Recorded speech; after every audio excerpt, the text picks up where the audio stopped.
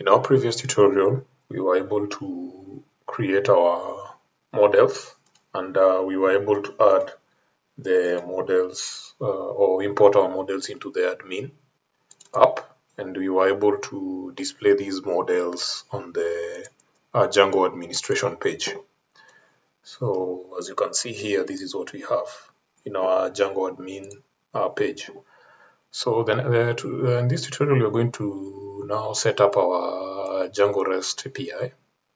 And uh, the first step, remember we had installed the REST API or Django REST framework uh, and Django REST framework uh, GIS in the uh, as the installed applications. And we had also installed Django CORS headers for cross-origin requests.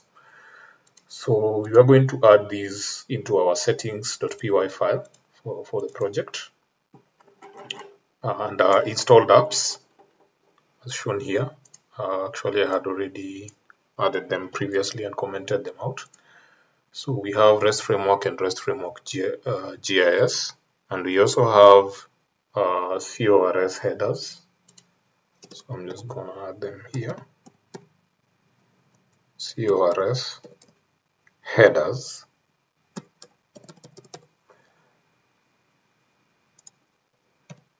and uh, for the CORS headers I'm going to configure it uh, further sorry. And I'm going to add it in uh, before the common middleware. So I'm going to add the CORS headers middleware after the common or rather before sorry before the common middleware. And then I'm going to uh, since I'm using this on my local machine there's a setting that I'm going to add. Uh, just to allow all origins uh, is equals to true.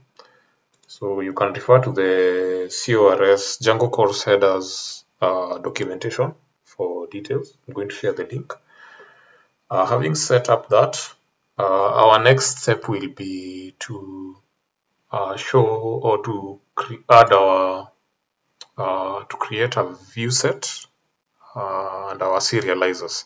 So the work of the Django serializer uh, is to convert, uh, I mean the primary work of is to convert complex data types uh, such as Django model instances into Python data types that can be easily rendered into JSON or XML yeah, or any other content types and it is a fundamental part of building APIs uh, using Django.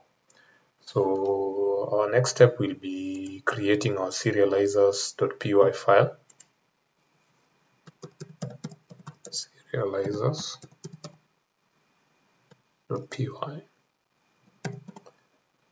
And now in our serializers, uh, we are going to add, uh, we are going to write some code here. And since we have imported the REST framework. In this case, we are going to be using the REST framework GIS serializer. So I'm just going to write from uh, REST. From REST framework. Underscore GIS dot serializers. Uh, import. So the GIS uh, serializers normally have some uh, classes. So we have a specific class called Geo Feature Model Geo Feature Model Serializer.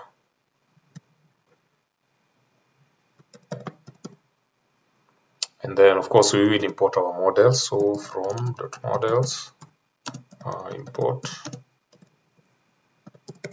health facilities. Yeah, so we are going to create a class. Uh, we can call it uh, health facilities.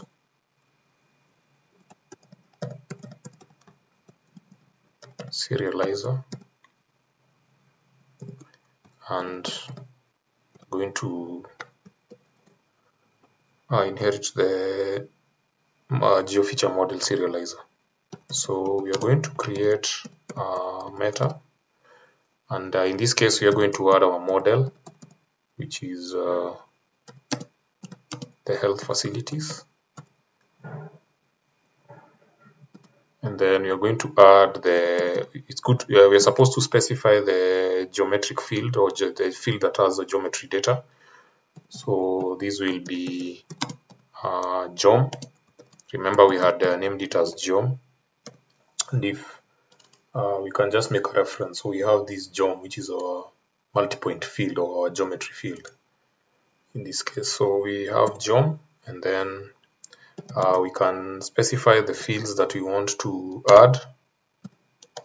So in this case I'm just going to add I'm going to add all of them by specifying that. And then uh, we can see after adding our serializers uh, let's just save. Uh, we are going to add uh, what you call a view set. And uh, in Django, the view set, uh, the work of the view set in the Django REST framework, it is a class-based view, and it provides a way to define CRUD operations for a particular resource or model in your API. So the view set, I mean, they primarily work the same in the same way as the views, but now in this case, uh, is in the context of Django REST framework. So we are going to import our, let me just clear this. We are going to import from REST framework, we import view set.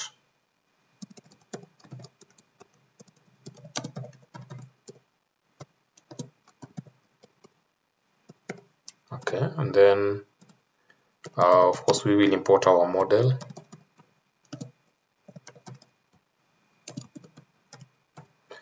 And then we are going to import uh, we're going to create our class which will be our view set class. So we'll have health facilities view set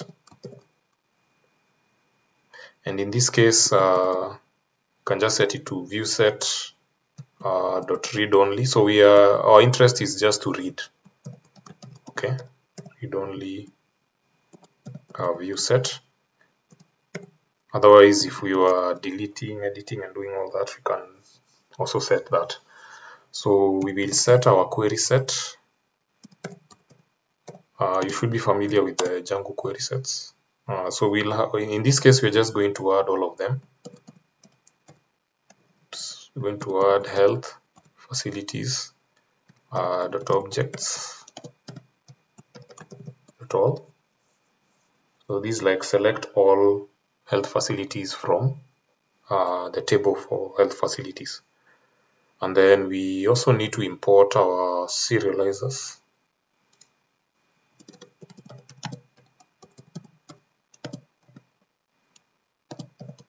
Import health facilities serializer.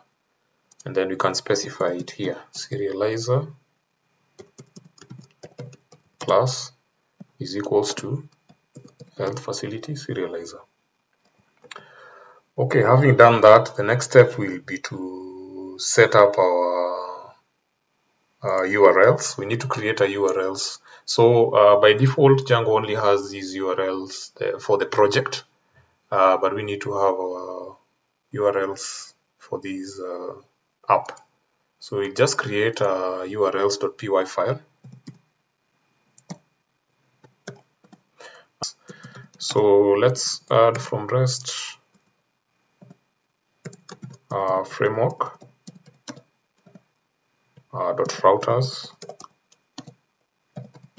import uh, default router. So we have various routers under the uh, REST framework routers, uh, but you can refer to the documentation. So we are also going to import our view set Port Health Facilities view set and then uh, we can specify our router it will be equals to it will be an instance of the default router and then we can register the URL or the endpoint to our router so we have uh, we can set it as router uh, dot register uh, so in this case we can specify our view set which is equals to the health facility view set and then uh, we can also set uh, base name. So in this case, it will be, just call it health facilities.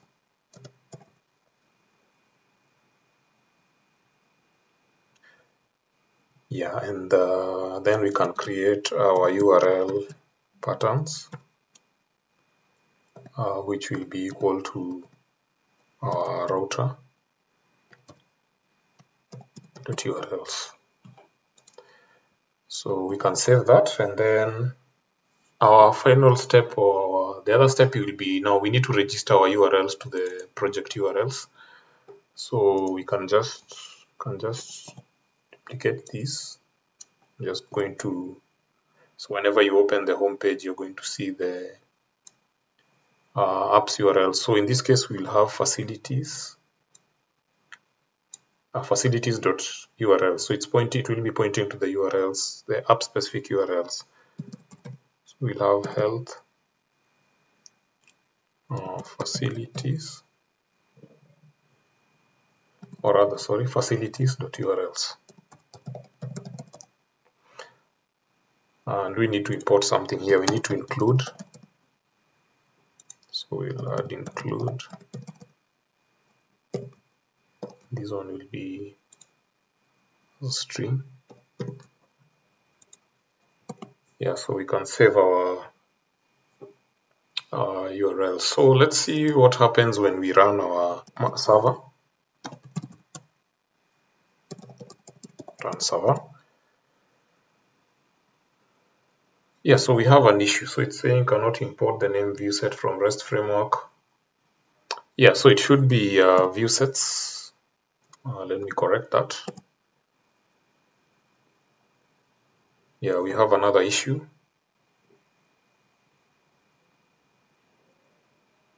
Uh, yeah, so for this one, uh, we will change this uh, since we are using our mo model. We are going to change this to our to correct this to model uh, view because it's pointing to our model so we're going to change that to the model view set uh, let me restart the server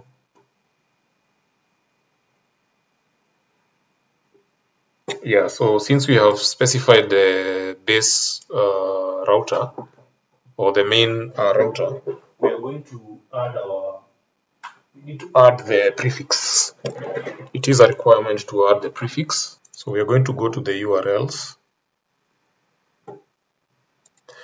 Yes, uh, so we have, since we have specified, in our URLs, we have specified the default router. So the default router requires an argument, which is a prefix. So in this case, I'm just going to add the prefix, uh, which will be equals to, uh, I can just specify API uh, v1 uh, for versioning uh, health facilities. Yeah, so let me save that. Then let's try and uh, restart our server. Oh yeah, so I forgot to add a comma. Yeah, so let's uh, look, uh, let's try and access our server. Okay, so our issue is uh, here in the installed apps. So we need it, it needs to be REST underscore framework, not REST uh, framework. Okay. So let's see what we get when we run our application. Yeah, so it's saying that health vSet should either include a serializer attribute or override the get serializer class. So let's go to the health facilities uh, view set.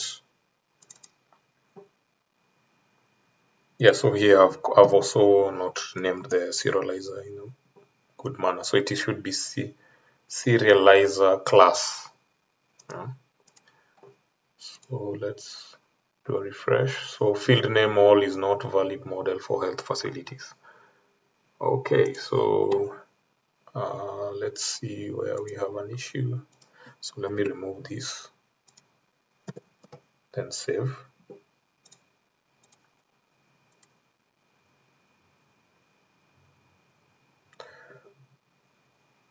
okay so it's saying that it's not found uh.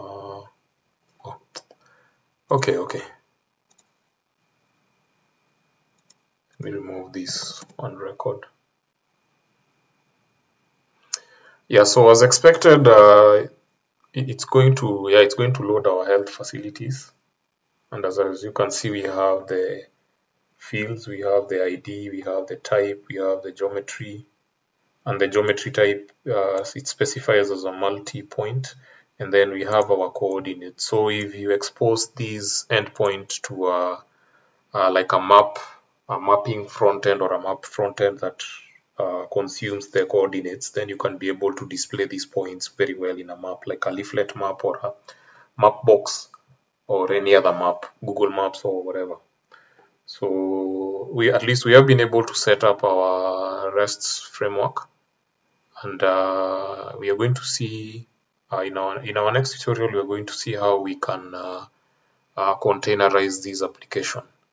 So uh, if you like this video uh, if you find this video important don't forget to like. You can also share with your colleagues and also subscribe to more content. Okay thank you for watching